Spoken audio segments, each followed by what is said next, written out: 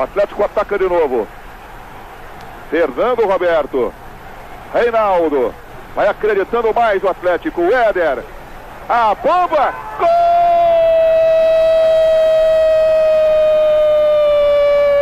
Gol do Atlético Éder.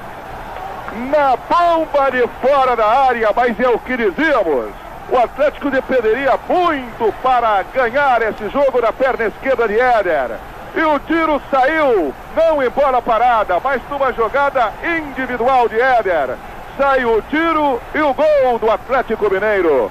A marca de 40 minutos e meio no tempo final. Um para o Atlético, zero para a equipe do Cerro. Então você vem rever o gol de Éder. 1 a 0 para a equipe do Atlético Mineiro.